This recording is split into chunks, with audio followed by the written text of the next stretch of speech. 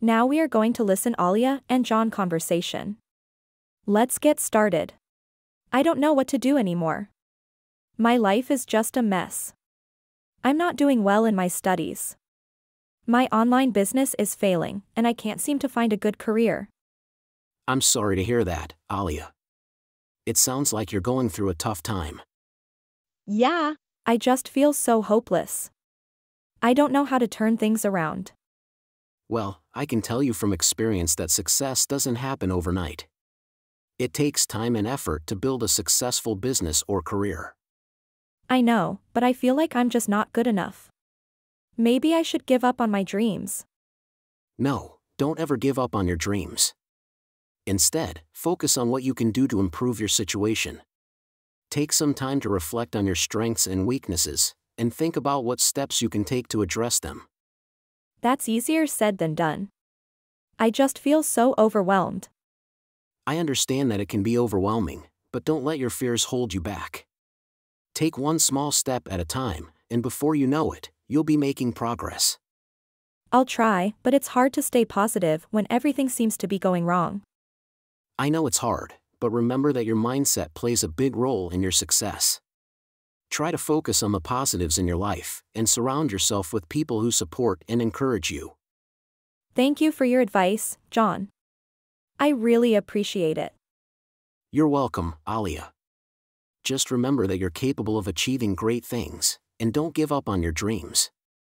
It's just that I feel like I've tried everything, and nothing seems to be working.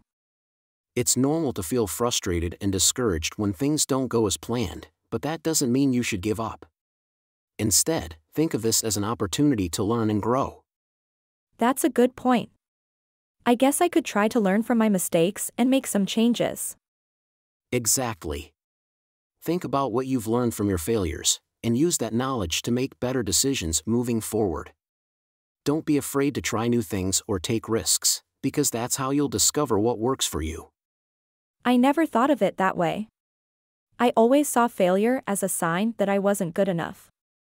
Failure is not a reflection of your worth or ability. It's simply a part of the learning process. You'll never know what you're capable of if you don't take risks and make mistakes along the way. I see what you mean. Thank you for helping me see things in a different light. You're welcome, Alia. Remember that success is not a destination, it's a journey. Keep taking small steps towards your goals, and before you know it, you'll be making progress. I'll definitely try to keep that in mind. I just feel like I'm so far behind everyone else my age. Comparison is the thief of joy, Alia. Don't worry about what others are doing or achieving. Focus on your own journey and what you can do to improve your situation. That's easier said than done. I feel like everyone around me is succeeding, and I'm just stuck. It's natural to feel that way, but remember that success is subjective. What one person defines as success might be different from what someone else defines as success. Don't compare yourself to others, focus on your own definition of success and what that means to you. That's a good point. I think I need to redefine what success means to me and focus on achieving that. Exactly. Don't let societal pressures or external factors define your success. Take control of your own definition and work towards achieving that. Thank you, John. You've given me a lot to think about. You're welcome, Alia. I'm always here if you need someone to talk to or if you need any advice. Thanks for watching this video. Please like this video.